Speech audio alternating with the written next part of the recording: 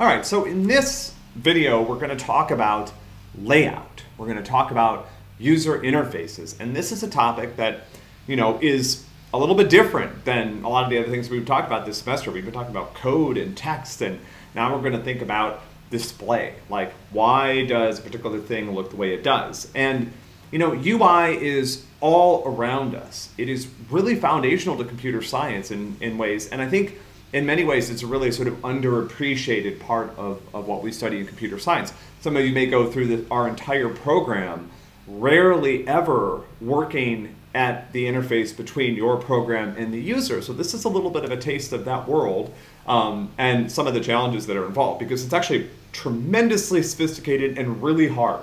Like think about Android Studio as you're using it right now. I mean, the, the interface is complex. It's got lots of different components, lots of different things going on.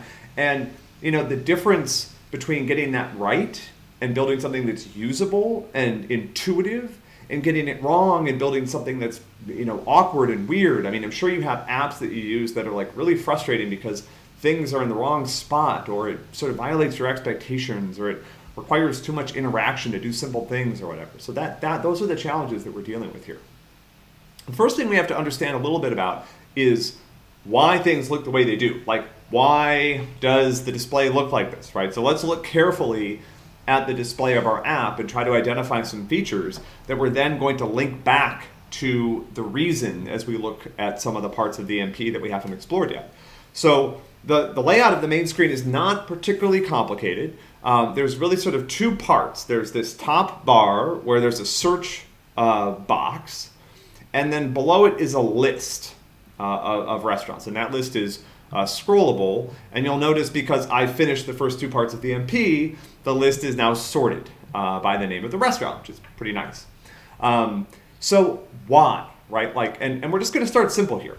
Now, if you go into the code for your main activity, you're not going to find the answers here.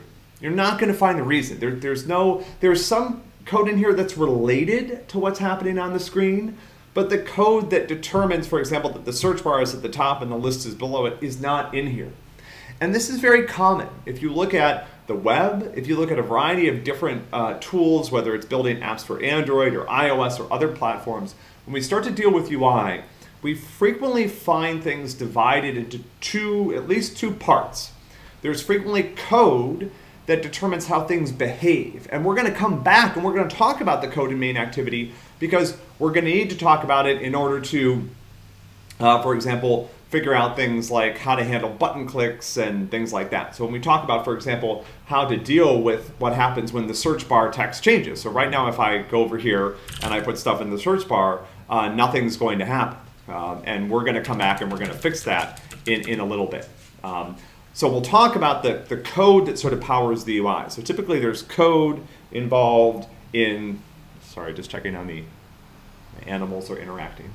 Um, there's code that's involved in the UI in terms of figuring out what to do, responding to events, uh, updating the UI as needed when certain things happen, when people do stuff.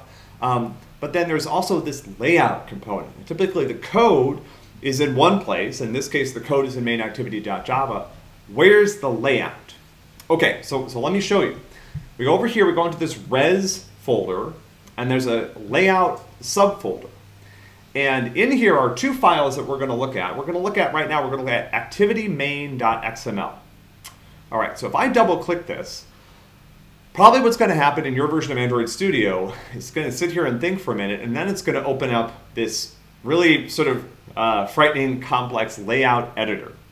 Because this is why the uh, screen looks the way it does. Now, what you're looking at right now, and, and be very careful here, it's like, you know, we were already sort of flying a 747 with Android Studio, and now it's like, it's even more complicated. But um, yeah, be very careful with this. I'm going to show you a little bit of a, what I think of a, as a nicer way to look at it in a minute.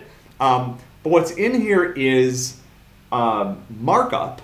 I'm going to show you the, the raw code or the raw text in a minute. But this is the file that determines what's on why things look the way they do on the screen. So for example, you can see here that there's a search bar at the top and then this thing called a recycler view at the bottom and that's a, that's a particular way of, of rendering a list in Android. All right, so this is a tool that you can use if you start to get better at Android programming to, to build really beautiful uh, and very complex uh, layouts and UIs, right? I don't do a lot of layout in Android. I do plenty of layout on the web, right? Like I'm responsible for the CS124 website. Hey guys, relax. Leave her alone. Um, and the dog has not figured out what the cat means when the cat hisses at the dog. It's back off, but it's cat language. Anyway, I'm not super. Uh, I'm gonna. I'm just. I'll just admit this. I am not the best at doing Android layout. Right. I'm. I'm okay at doing web layout. You can decide what you think about that based on what you think of the website. Um, but Android layout's a, a totally other beast. Um, but let me show you what I typically rely on when I do this. So I'm going to go over here. I'm going to click on the code view. Okay. So typically stuff that you work with when you're a programmer ends up being code somehow, right? Even if you see a picture, usually at the bottom of that picture, particularly if it's layout, if it's like a web page, is some type of text, uh, some type of what's called markup language. So what's in here is used by Android to render this particular activity, okay? Uh, and it's called, the, the name of the file is called activity underscore main, and that's designed to indicate what activity it's connected to. Now I'll show you exactly where this linkage takes place because that's actually in the code. Um, but okay, so so now what are we looking at? So so this is something called XML. It's not something that you need to be familiar with, but XML is a form of markup language that allows us, in this case, to indicate how a particular thing is supposed to look.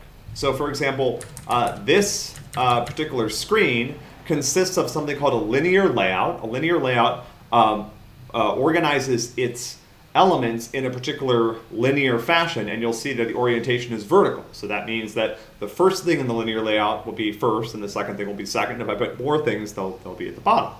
They'll sort of, sort of, sort of stacks things, right? Sort of like a container. Um, then what's here is what's called a, a toolbar. And this is what contains that search widget. So for example, this is uh, the search view is what's present uh, in, in the layout. And so, and then below it, I have something called a frame layout, and that contains my recycler view. Okay?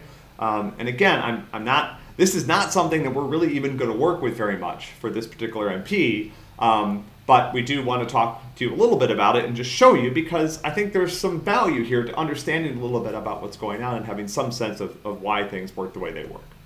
Okay, so let's try to perform something somewhat basic here. So, so here's what I want to do. I want to move the, I'm going to try this. I'm going to try moving that search bar to the bottom, right? So let's say that when your boss comes in, they say, no, no, no, everyone's moving their search bar to the bottom. We, we got to do that too. Uh, let's try it. Okay, so I'm, I'm going to rerun the app and we'll see if this works. I'm not actually sure it's going to work because it's possible it's going to be too far down to see, um, but let's find out, right?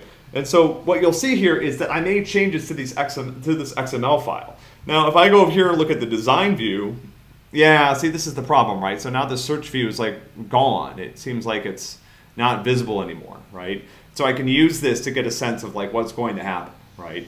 Uh, now I think, again, what's going to happen is that my search uh, bar, yeah, it's, it's gone. Let's see if it's like, well, this will take too long to scroll down, right? So, so that, that didn't work out very well. Um, let's go back and let's fix it, right? So if I go back here, I can pretty much do the same uh, type of um, undo, right? And, and there is a way to get this to work, right? If I really wanted, um, let's see, if I really wanted this to work, I'm sure I could get the uh, search bar at the bottom with a little bit more fiddling. But this gives you a sense of kind of how stuff of this stuff, some of this stuff is is done, right? Like how, how it happens, right? And all of these attributes have have a have a meaning, right? Um, let's try this. Let's try removing this search view. Now I think if we do this, uh, well, actually, hold on a sec. Uh, here, I'll show you something else. So is there like a default value here? Uh, initial value. Let's see. This is how you you know start, start up with this stuff, right? Uh, let's try uh, testing. Let's see if I can just give this a, a default value. So when it starts up, it actually has some text in it already. I don't know if this is going to work or not, right? This is one of those things where if I was doing something like this, I would be spending a lot of time looking up the documentation, looking up examples. There's a lot of good examples online about how to do this sort of stuff in Android. Um, frequently, like when I got started doing web design, I would find a website that looked the way that I liked, and I would kind of try to figure out like why does it look that way, and and how can I sort of uh, oh that didn't seem to work. Okay, that's all right. Um, so I would, you know, mimic things, right? Like pick something that I like, you know, uh, and figure out why it worked out. Um, so this is just, you know, again, a little taste of Android layout. Let's let's let's try to have a little bit of fun with this. Um, let's see here. What about there? So there is something called a text view that I should be able to add. Uh, let's see. Let's say width is match parent, height is. So the, these values determine how big this is going to be. So I'm going to say wrap content. And then in here, I'll say hello world. Will that work? Um, it's angry about this. Um, oh, wait, I think I need to put it in here. So I need to put Android uh, value uh, is hello world. Let's try that. Uh, and then these are these. Now, again, the syntax of this is something that we will not expect you to, to work with without a lot of help or guidance from us. It's possible at some point that we'll do a little bit of work on something like this together, but when we do, um, we'll give you a lot of a, a lot of support and we'll walk through things carefully together. All right, so what I'm trying to do is I'm just trying to add like one piece of text to my uh, layout, and I want it, it, it should appear below that search bar, but above the top of the list, right? And so let's see if I was able to accomplish that or not. Um, and it looks like, hmm, I, I was, looks like I was not able to accomplish that. I'm bad at this. Uh, let's see here. Uh, oh wait, hold on. It's Android text. That's what it is. Uh, it's not Android value, because that would make sense. Yeah, let's try this now. Um, now, uh, let's see.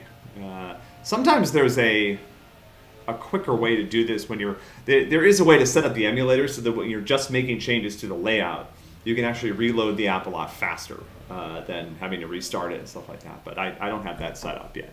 If you were doing a lot of really heavy app development and you were working on layout, ah, there we go. So now you see our text on the screen, right?